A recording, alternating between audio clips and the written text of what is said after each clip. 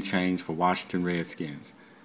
President Barack Obama says he would think about changing the Washington Redskins name if he owned the football team as he waded into the controversy involving a word that many consider offensive to Native Americans.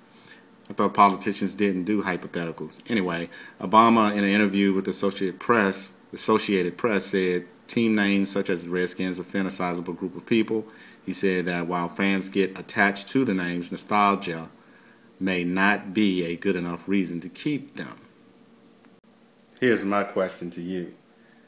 Don't President Obama has enough on his plate to worry about besides the name of the Washington Redskins. I mean, 800,000 people are out of work because of a government shutdown. A government that he is in charge of that cannot make a decision to do what needs to be done to get to keep our government running. Not only that, let us not forget about Syria and the so-called weapons of mass destruction that they used on their own people that was headline news a few days ago that nobody is talking about.